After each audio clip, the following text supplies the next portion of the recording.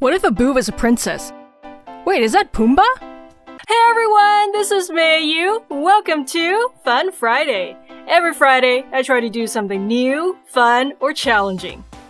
Today's going to be a really fun episode. I'm going to be reimagining different Disney animals as beautiful princesses, and these animals could either be sidekicks or they could be the main character in their own movie. I wonder how they're all going to turn out. Like, are they going to actually look pretty or elegant as human princesses? Hmm. So I'm going to start this video off with a challenging one, I think.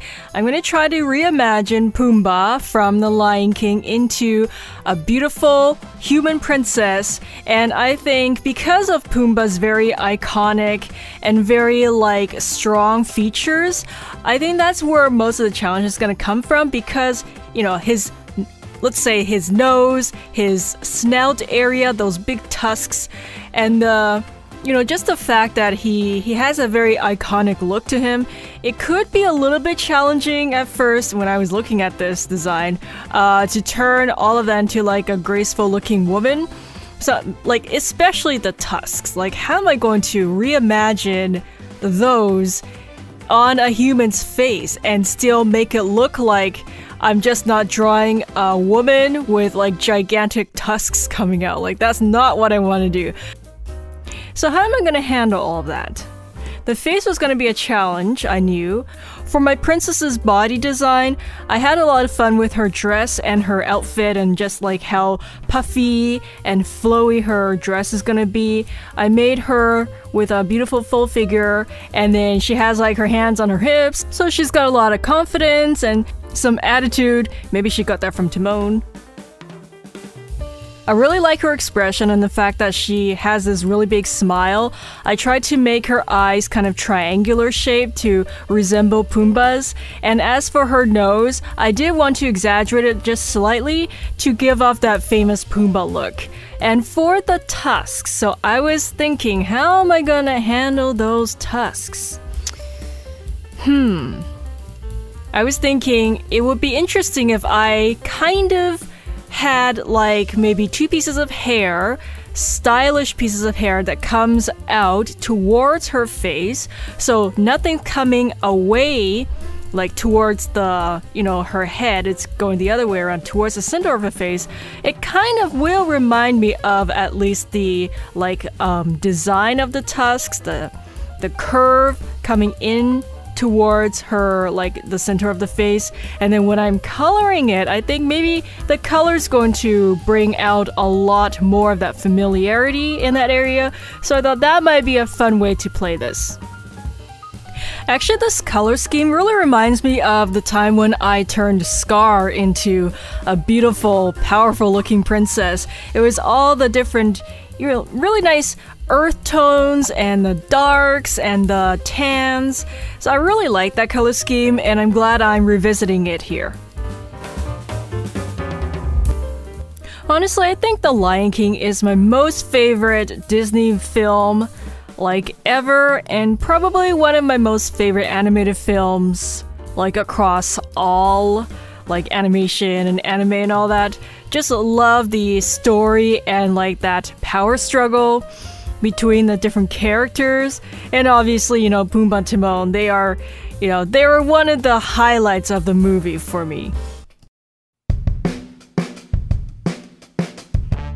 I felt this character design gave me a lot of freedom in terms of uh, like infusing my own creative thinking in like just the design overall and the color scheme because Pumbaa's colors, like the original character, he doesn't really have a lot of different types of colors. He has, like, I feel like the color scheme is quite limited. And my design has, um, like, a limited color scheme as well, but I did have, uh, like, I purposely created more sections in her outfit to give me more opportunity to kind of explore like little subtle shifts in the different tones, the different shades, so I'll get more variety within like a set number of actual colors.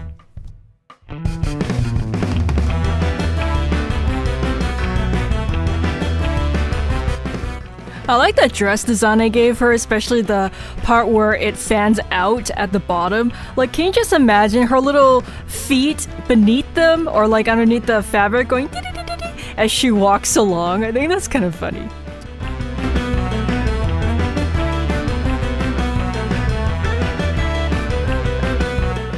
I think it's a good idea to get some bright pops of color in there as well. We have a lot of dark, deep, heavy colors, so I want to brighten things up just a little bit.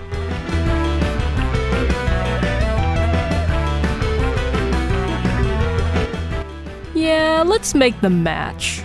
There we go.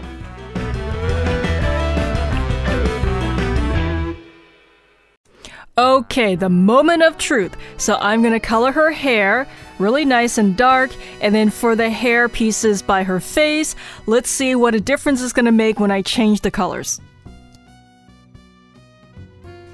Okay, I really like this. I was having, you know, so many thoughts before I drew this character design. Like during the concept stage, I wasn't sure if this was going to work, if it will look like his tusks or not, but I'm so glad. From my point of view, at least, I think it works. Totally works. Ah, oh, I am so happy. Such a nice design. Okay, I am satisfied. So I've drawn a sidekick as a beautiful princess, and now I'm going to draw a main character, and this time it is going to be from a fandom that I I haven't really done a lot of, like, I've drawn some things before. I've drawn this character as a human before, I think, but not as a princess. So let's see how differently I'm going to reimagine her this time in this video. So this is going to be Judy Hopps from Zootopia. If Zootopia was a princess movie. Yeah, why not?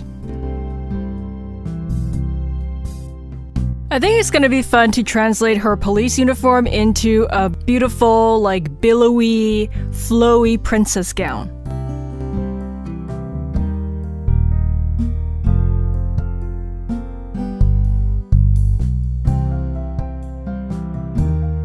So I'm imagining her as this young, very, like, hopeful, and capable young princess, and she wanders off into this great new grand um, Zootopia kingdom or something like that.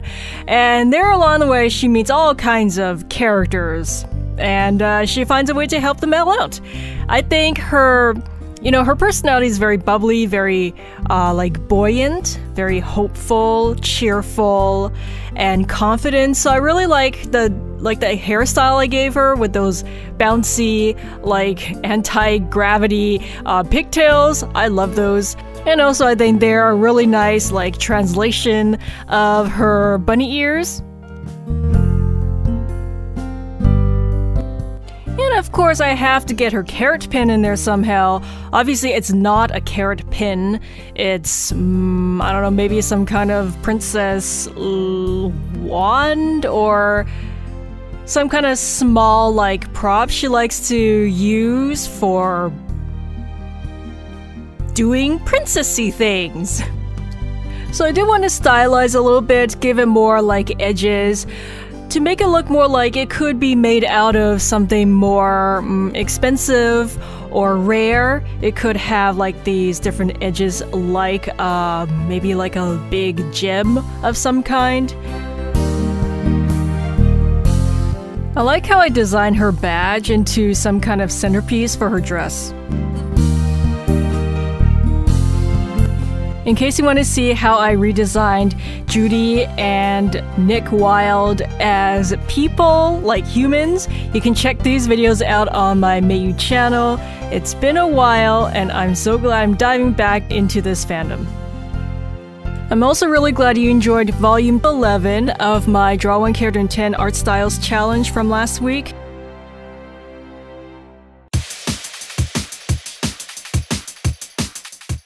Okay, so I'm going to be using quite a lot of my blue markers now First, I want to do like a lighter feeling on top of her dress, and then as I work my way down, I thought to kind of like have this nice gradual shift into deeper and deeper blues. I was thinking, you know, sometimes I like to just have a solid color and just have like some dimension playing on that, and other times when I'm designing different dresses or outfits, I like to change things up a bit and maybe have like a, a gradient effect using my markers and lots of layering. Oh no, my blue marker slipped. Okay, I hope I can really blend that in in the trim area and I hope you're not gonna see that once this is all finished.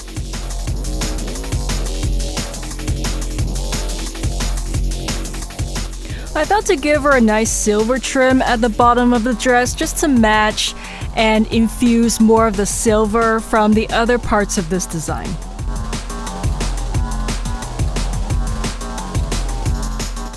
In all my different princess reimaginings, have I ever done a silver haired princess before? I can't remember from the top of my head, but I think she's looking pretty cool. Now that I think about it, maybe her carrot prop is kind of like some kind of uh, magical princess wand disguised as just this, you know, pretty, like, crystal trinket that she likes to carry around. And then whenever she needs to, she can secretly uh, cast like some kind of spell, like a recording spell. Um, to collect evidence of bad guys, and then she'll present the evidence to the king, and then that's how she busts the bad guys' butts.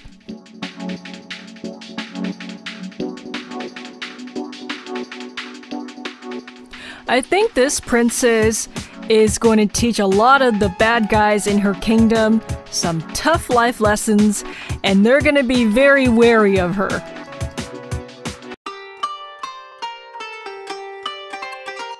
Okay, so I'm going to try to reimagine Abu from Aladdin as a beautiful princess, and I think this is going to be an interesting challenge because of just the face design, the fact that he has this, you know, famous monkey tail. How am I going to do that with on, you know, like a human character?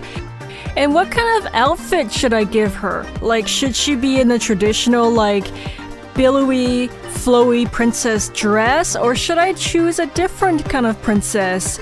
Um, attire for my character, I was thinking since Jasmine has her pants and she doesn't really you know, I've never seen her in like a traditional princess dress before.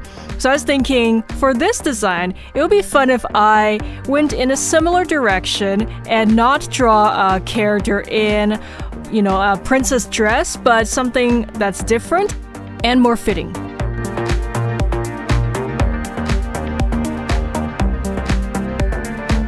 Oh yeah, the tail was kind of a challenge at first. Like I was thinking, how am I going to do the tail of a monkey on a human character that's gonna look natural for a princess to have and it's obviously not a tail? I was thinking, since she has this nice big long ponytail, I could then just extend that down her back and then it kind of flips up. And I think that's a natural way to integrate something like that.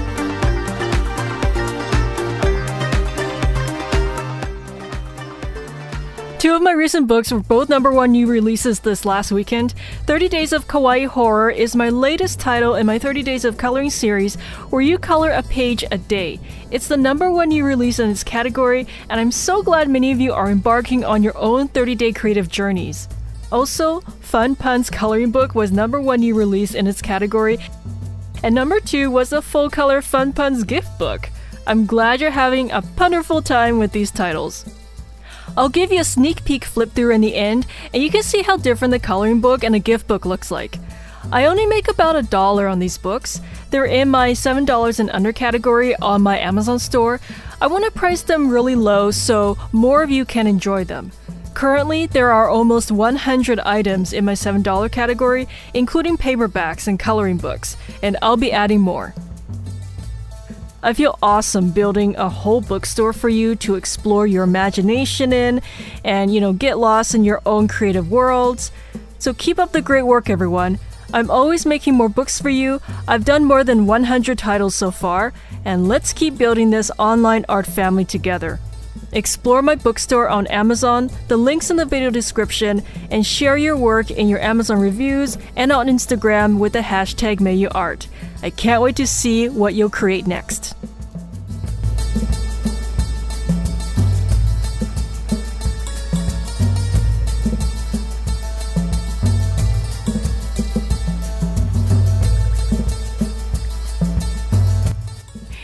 Let's get some gold in there. That's gonna really brighten things up, and it's gonna give this piece a really nice, you know, sparkly special look to it. I also wonder, why does she have this expression? Something is not right in her life, or she's not liking something. Let me know all your fun fan theories and creative backstories in the comments below. I gotta know, what is with this Abu princess? And as always, if you like content like this, hit that like button, smash it real good, and subscribe in case you haven't yet so you won't miss my new videos. Be sure to turn on the bell for notifications so you actually get notified and you won't miss out on any future videos I make. Check out my Mei Yu channel for over 900 videos and go binge watch some more. And I'm gonna see you real soon in a few seconds. I'm super happy to know that more of you are enjoying my Fun Puns coloring book and the full color gift book. They were the number one and number two new releases in the same category on Amazon last week. Enjoy Punderful comics to make your day fantastic. If you like my fun art, just go for it. I just love the color printing of the gift book. It really feels like a book you can get in a bookstore. The quality is really nice and a great value of under $7 on my May bookstore on Amazon. I've also seen more of you completing my 30 days of coloring books. Some of you actually shared all of your work in those books, like one piece at a time. I love that you're dating each image as you complete them. Congratulations to all of you who have finished your 30 day journey. I encourage you to start another book in this series because your creativity is just like a muscle. The more you use it, the stronger it gets. And that's why I recently released 30 Days of Kawaii Horror. It's a great continuation of the work you're already enjoying. I've made three titles so far in my 30 Days of Coloring series, and more are coming because I really love inspiring you to keep powering up your imagination on a regular basis. You can color as much or as little of each image as you want, there's no pressure, and is a great daily stress relieving hobby. Once you're finished the 30 days, you'll have completed an entire book filled with valuable personal memories. You can proudly show your work to your friends and online. I'm also glad some of you have completed my 100 Styles Art coloring book, where you color all 100 of the character designs I made in Volume 1 to 10 of my Draw One Character in 10 Styles video series. This coloring book is double the size of my main line of coloring books, and many of you have watched me design each character from scratch in different art styles from start to finish. These books are truly special because you are part of the process. You've seen me approach each one of these character designs in my videos. And now you can color them however you want in different animated, cartoon, and comic styles. They're not sold anywhere else, only on my Mei Yu bookstore on Amazon.